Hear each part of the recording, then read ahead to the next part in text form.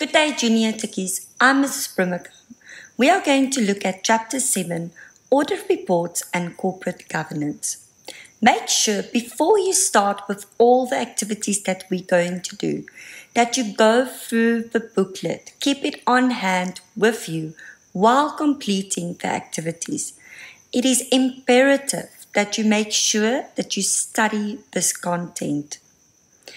Corporate governance and audit reports is lately asked as the standalone topic, and this forms part of paper 1. Looking at activity 1. You are provided with an extract from the audit report of the independent auditor for Marvel Limited for the financial year ended 30 June 2021. Required 1.1 up to 1.8, we are going to look at each one of those questions.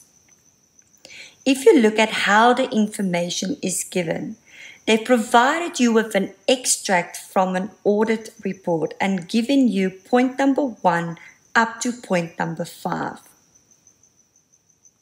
So if we look at question 1.1, briefly explain the difference between an internal auditor and an external auditor. So, number one, an internal auditor is employed by the company, whereas an external auditor is appointed by the shareholders. The shareholders are the owners of a company. Internal auditors report directly to the directors of a company whereas external auditors report to the shareholders. Thirdly, an internal auditor examines issues related to the company business practices and risk, whereas an external auditor examines the financial records.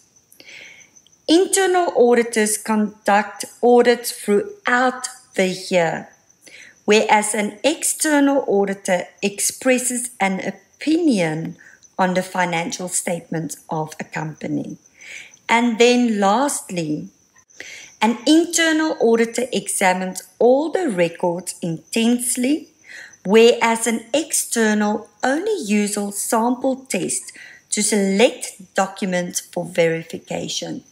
Make sure that you understand the difference between internal auditors and external auditors. Question 1.2 Ask now to refer to point number 1 up to point number 5. What type of audit report did the company receive? So if you look at what I've highlighted, point number 1 unable to obtain sufficient audit evidence. Point number two, liquidity has been compromised. This is not in accordance with the provision of the Companies Act and international financial reporting standards. If you look at point number five, we do not express an, an opinion. Now remember that there's four options. Either an unqualified, qualified, disclaimer or an adverse opinion. This qualifies as a disclaimer or they withheld the report.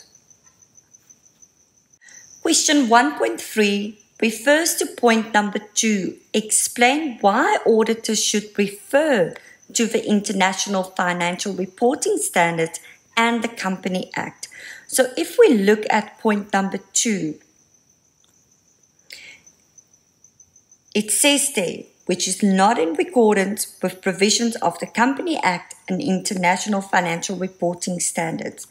The reason why it should refer to the International Financial Reporting Standards and the Companies Act is because a company operates on a global market. The company is influenced by global economy and the exchange rates. The company engages in international trade, and investors may come from all parts of the world.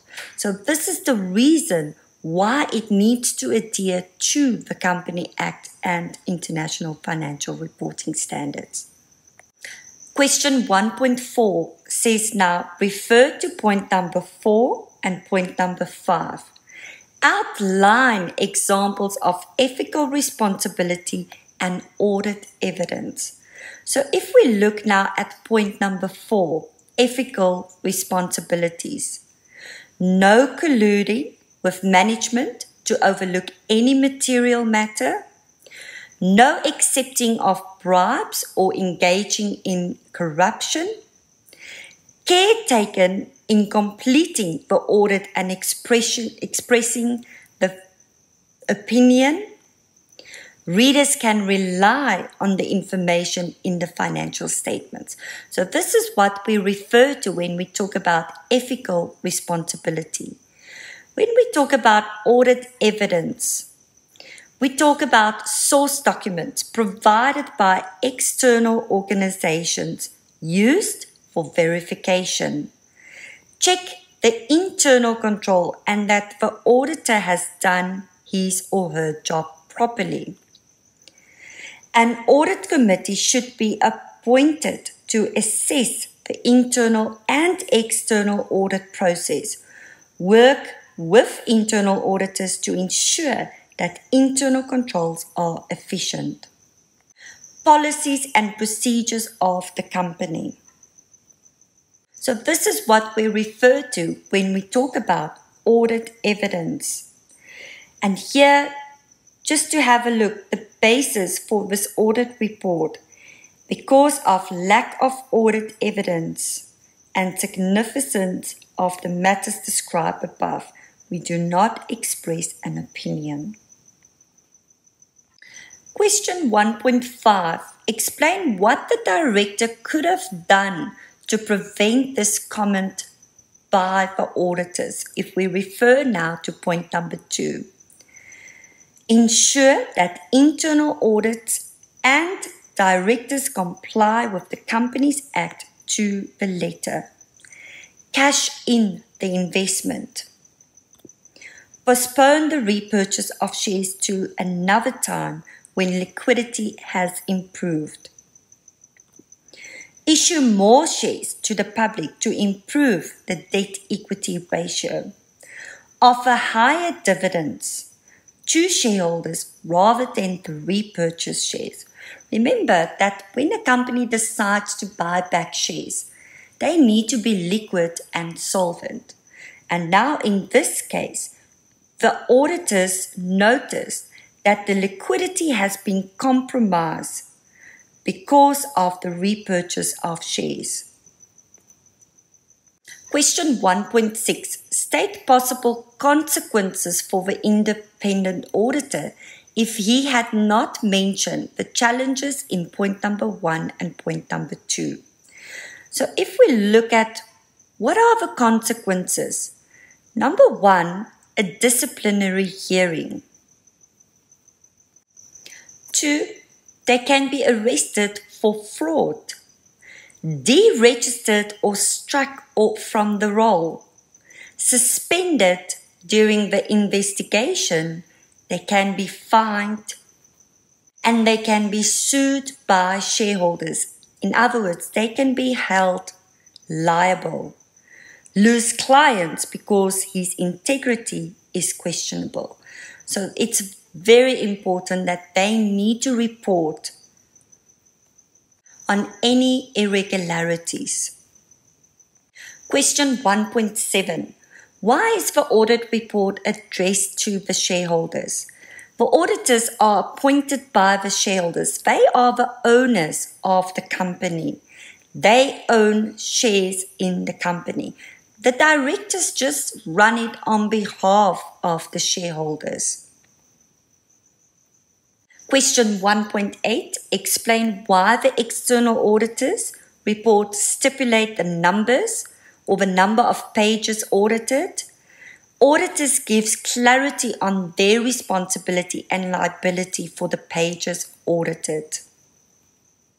Thank you very much. I want to leave you with this quote. A little progress each day adds up to big results.